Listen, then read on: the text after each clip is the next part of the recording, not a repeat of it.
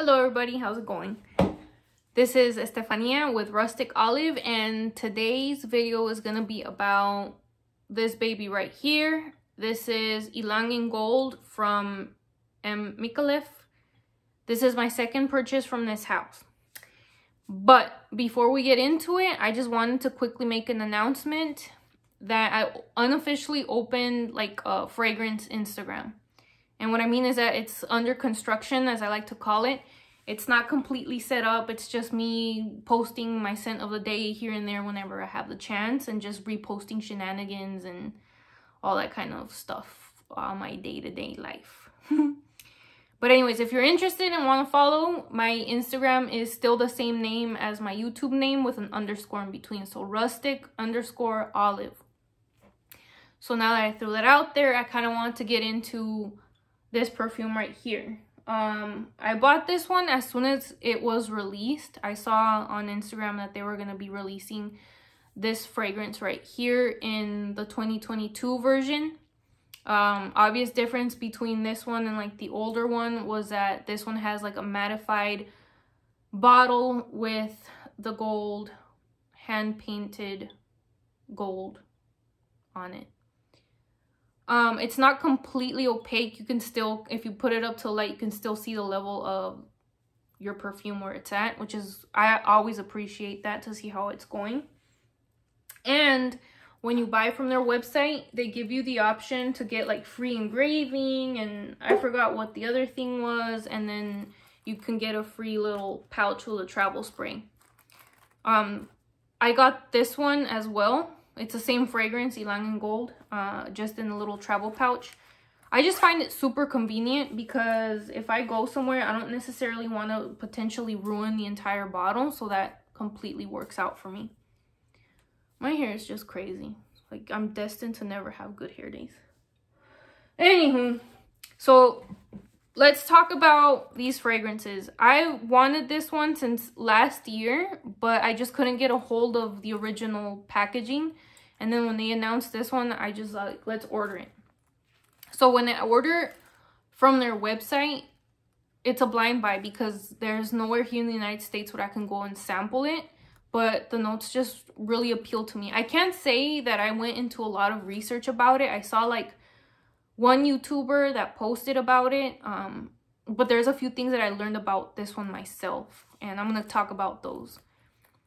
So if you remember the original bottle with the clear and it has like the gold floating around, I didn't know whether or not this one was going to have the same gold floating around. It does. I actually wore this to an office the other day. I got several compliments from it. It left a trail. So that was pretty cool. One thing I noticed though was that like on my mouse and on my cell phone and all that stuff, like anything I was really touching, there's gold dust. So I'm like, it can't be from this but it still has the gold inside the liquid. So if you spray it, it's still, we wrong way, Ooh, my bad, hold on, okay. It still has gold that gets sprayed onto your skin. And that's something to mention because if you're trying to use this like on an occasion that you don't necessarily want to have gold dust under you or over you, just keep that in mind. I would actually recommend getting the travel spray in that case because as well, because the travel spray, and I'm going to show you, this one does not have any gold in it. It's just a clear liquid. So I'm glad I got that as a comparison. Um, another thing that I wanted to mention was the fact that, yeah, I can see the gold dust here. You cannot though. You kind of see my hand like sparkly, but not the gold glitter. So yeah, um, another thing that I found interesting that between these two, I don't know if it's just me and my head playing tricks on me, but when I spray this one on this hand and I've sprayed this other one on the other hand, it smells different to me. I don't know why. I don't know if the gold dust plays a part in the composition of the perfumes. But the one on my right side, like the one from the travel the travel spray, it smells slightly different. There's a sharpness to it that I don't get so much from this one. And that's the initial spray. Once it dries down, they're super similar. But there's something more sharp with just the clear for whatever reason. I don't know if... I don't know how these things are made, so I don't know. But there is a slight sharpness from that one. And by sharp, I want to say it's like a bitter citrus kind of a thing. Like something bitter. So let's talk about the notes on this one. I know there's a few YouTubers that mention the notes and all of that. And before I get into the official listed notes from the website, I want to talk about what I get from it, the senses that I get from it. So I smell white florals. That's one of the predominant notes. There's a white florals. There's a citrusy portion of it those are predominant to my nose. You smell the vanilla. You smell something tropical in there. I can't say it's the ylang ylang because I've never been too much of a fan of that scent. So whatever it is blended together, it smells amazing. Yeah, but there's just something tart in there. There's something citrusy in there. There's that vanilla. It's light and airy. It is not a dense perfume.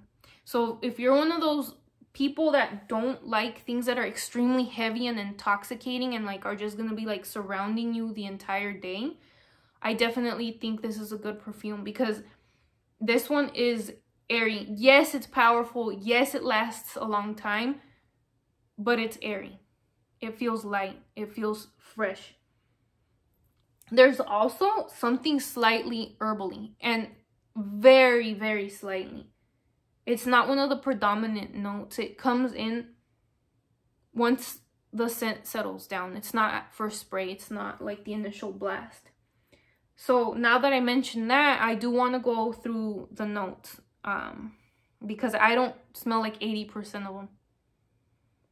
That's not necessarily a bad thing. It's just maybe it's me or I don't know. Okay, so let's see what it says. Top notes, geranium, citrus. Middle notes, sandalwood, ylang ylang. Base, coconut, vanilla. So those are the official listed notes on their website. Um, if you look in Fragrantica, it lists a bunch of notes. And those are the ones that I'm saying, like, I don't smell like 80% of these. It says it has fruity notes, peach, lychee, sage, tangerine, artemisia, rosemary, geranium, bitter orange, ylang ylang, sandalwood, mint, magnolia, rose, lily of the valley, vanilla, coconut, musk, and oak moss. It lists a great amount of things on Fragrantica. I don't know if this is like one person's interpretation, but I can tell you like I am extremely familiar with lychee and I do not smell that at the top. Lychee smells like rose to me and I've picked that fruit like straight off from a tree. Like I am extremely familiar with that fruit. It is one of my favorite fruits ever. I don't smell that. I don't necessarily smell peach.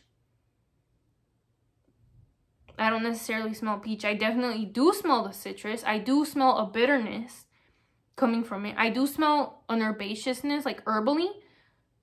But this says rosemary and it has mint. So it's not like a cooling fragrance. There's an herbaliness to it. So if you have a mint plant, you might know what I'm talking about. It's not necessarily like that gum fresh feeling. It's more of like the herbally part of it, the greener part of it.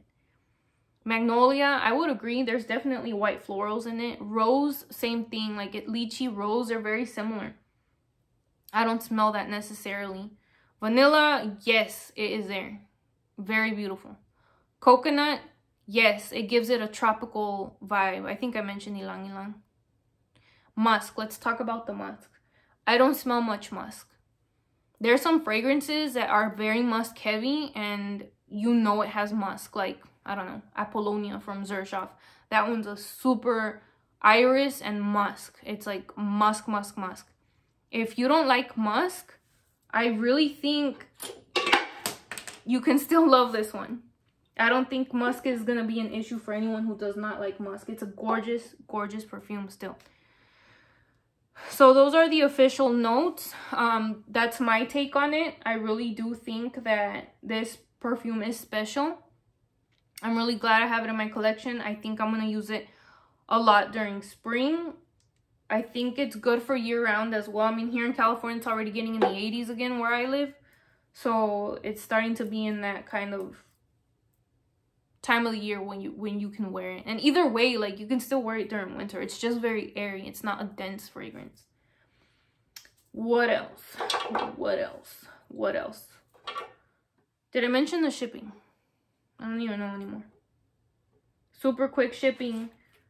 They ship like I've bought so much stuff like in life throughout life like from books from college to uh monitor like so many things clothes etc from online. And honestly this company for whatever reason ships faster than stuff that i buy here in the united states. How does that work? I don't know. I don't know what strings they pull but trust me you will get your package almost immediately. I get the i get stuff from them faster as my second package lightning fast shipping i honestly recommend it Another good thing is, like I said, they have like the three little options for free when you purchase from their website. And from my experience, I don't get charged taxes for it coming into the United States. I don't know about other countries, but those are three definite pluses for me. Whatever the conversion is, that's what I'm paying for shipping, taxes and everything included for lightning fast shipping. I really like this company so far. I wonder if they're ever going to come out with anything like this in the future, I would definitely buy it. If the notes appeal, of course. But yeah, um, that's all I have for today. Thank you for watching and have a good day. Bye.